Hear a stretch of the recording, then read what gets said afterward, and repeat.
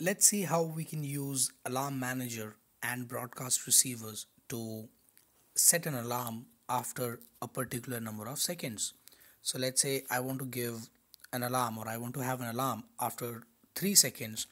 I will type 3 here and then start the counter. Alarm is set in 3 seconds and as soon as the toast goes you can see that the after 3 seconds there's an alarm which has come up right? So now let's go to android studio and see how to make this happen. So first things first let's have a look at the manifest of this app. The manifest has uh, a permission here which is for uh, vibrate. We will be using the vibrate services of android and that's why i have put vibrate permission here. And then uh, there is this one activity which is doing all the role. And then there is one receiver that we have used here the name of the receiver is alarm broadcast receiver right? Now let's go to our main activity and see uh, how we have made this happen. But before that I will also show you the layout that we have used. It's a very simple layout a linear layout with orientation as vertical. And then there are there is an edit text which was used to get input from the user and another button which the user is supposed to click so that they can set the alarm right?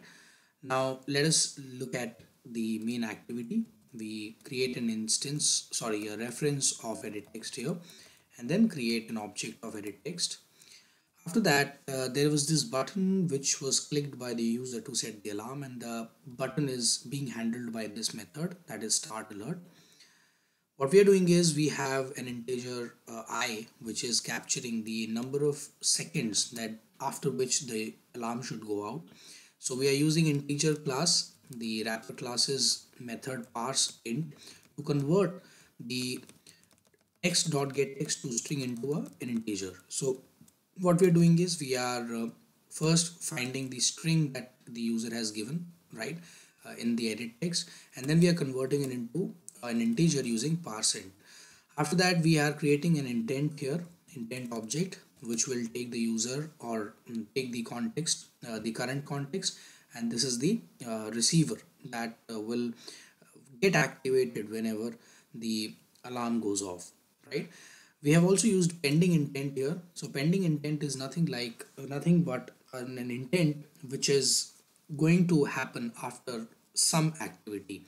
So how you handle a pending intent is like this you uh, use the get broadcast method for this and then give it the current context this dot get application context.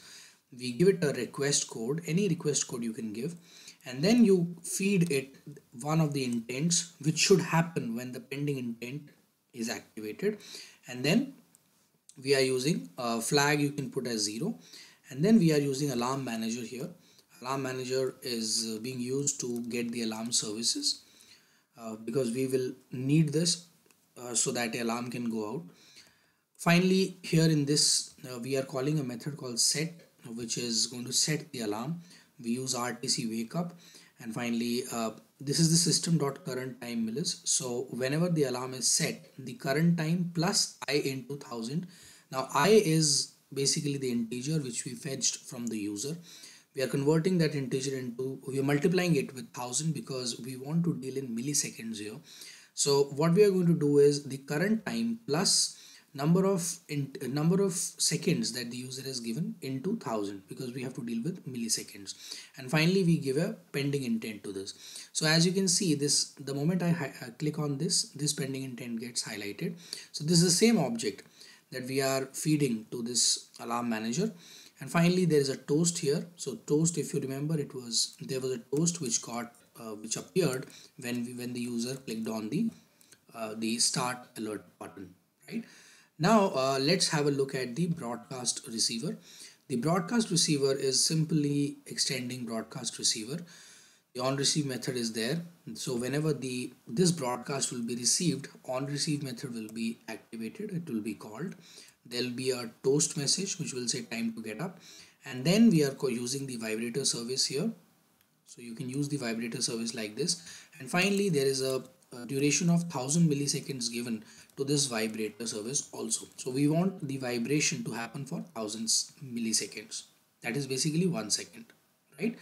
Now so this is how you can you can use the vibrator service with alarm manager to set the alarm important things which uh, we need to rediscuss here and just you know like revisit here are these. Uh, you have to put a receiver tag in your manifest. This is really important. If you don't do this the app will not work. In fact you will not even get an error why the app is not working right? The app will not even crash it's just that app will not work the way you want it to work.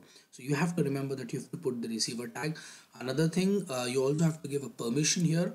Now this is not a mandatory permission as in uh, if when you give this permission the user will not be uh, you know asked to give the permission again when they launch or when when they when they start using the app right? For example if there was a permission for uh, using the contacts or uh, using the location of the user the user is explicitly asked for the permission right? But it does not happen in this case. But still you have to write this permission here right? So uh, you have to give write the permission here. And then that's it. Uh, there's nothing else to discuss here. It's a very simple app. You just need to understand the concept which is intent and then pending intent the pending intent takes intent object as one of its input arguments. And whenever you know this pending intent will be fired this intent will get actually get fired right? So what is really happening here is the alarm manager is making sure that this pending intent gets activated after i into 1000 milliseconds.